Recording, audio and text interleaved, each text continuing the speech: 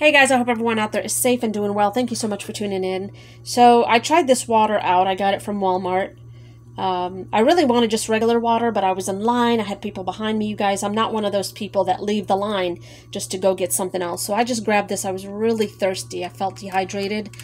And the other waters were flavored water. I'm like, uh, that's the last thing I need is sugar and salt to dehydrate me even more.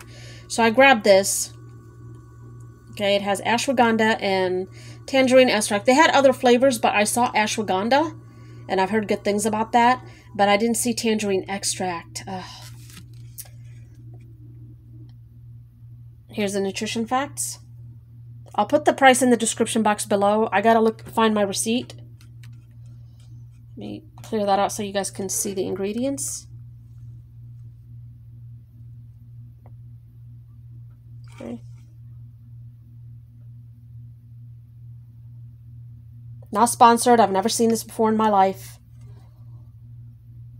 Okay. It doesn't say new on it. I've just never noticed, really, to be honest with you. Okay. So keep in mind that everybody's taste buds are different. Okay. What I might end up tasting, you may not, and vice versa. So don't come for me. Okay. Um, here's what I tasted.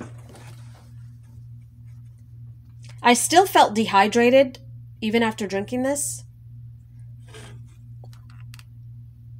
Um, here's what ruined it the tangerine extract. It felt like I was, and I had some errands to run, and it's been like a few hours, so I thought I'd bring it home and um, review it for you guys. Here's the aftertaste that I'm getting and it still lingers. And after this video, I'm going to go brush my tongue and scrape it and just clean it and drink fresh spring water that I got at home. It, it gave my tongue like this heavy feeling. I don't know. It also tasted like, it gave me eh, like a soap type. You ever eaten something and it just felt, it just tasted a little bit like soap to you? And the essential oils that you use to put in the in the vapor those vapor things or your um, uh, electric uh, in um, wax warmer thing for to make the house smell nice. You know those little bottles of essential oil? That's what i'm getting between the soap and it's just a really strong extract from the tangerine. I'm not tasting the ashwagandha, so you're not going to taste anything woodsy or anything. You're going to get a lot of the tangerine extract. The tangerine extract really ruined it. Okay, it's not one of those waters that are going to taste like magical tangerine orange. No, it's I think they they did it wrong. I don't know, but the aftertaste, I don't like that, you guys. Um, it did not um, help me feel hydrated at all.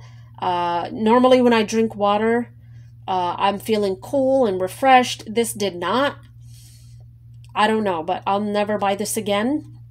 It may work for you. You might like it. Hey, everybody's different, but I'm just telling you what I'm getting from getting this flavor. I don't know about the other flavors, and I, I sure don't want to find out. So, if the company's watching, I don't know how to pronounce this.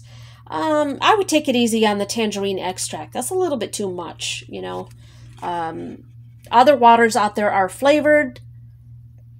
It's a nice flavoring, but extract, mm, I don't like that. It's still lingering in my mouth. I feel like I just ate soap and and that um, essential oil. So that's what I'm getting. I'll see you guys in the next one. Take care.